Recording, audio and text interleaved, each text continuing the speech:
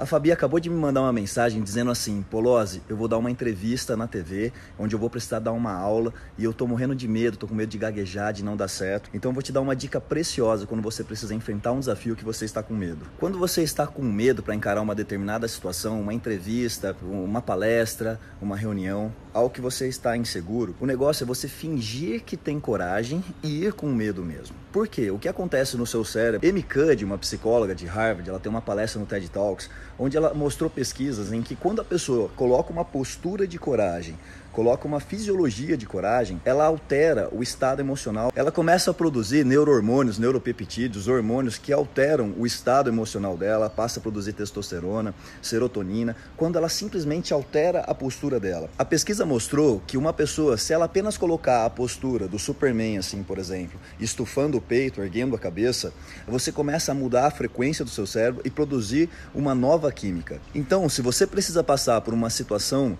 de medo, se você colocar a postura, fisiologia, face, respirar uma, como uma pessoa que tem coragem, falar internamente o que você diz para si mesmo com uma voz firme, positiva, de coragem, você altera o seu estado emocional e você passa pelo desafio. Então, o segredo é, tá com medo, finge que tem coragem e vai com medo mesmo. Age da forma como você agiria se você tivesse coragem. Coloca isso no seu corpo, na sua mente e vai. E agindo dessa forma, tendo consistência sempre enfrentando novos desafios, sempre saindo da zona de conforto, sempre fazendo coisas que realmente te provocam medo. É assim que você cresce. Você só cresce quando sai da zona de conforto. Agora, deixa eu saber se esse conteúdo trouxe valor para tua vida. Você gostou? Fez a diferença? Deixa o seu comentário para eu saber o que você está achando, porque é o seu comentário que me incentiva a continuar fazendo esses conteúdos. E marca uma pessoa aí que você admira, que você gosta, que você quer fazer a diferença. Um abraço.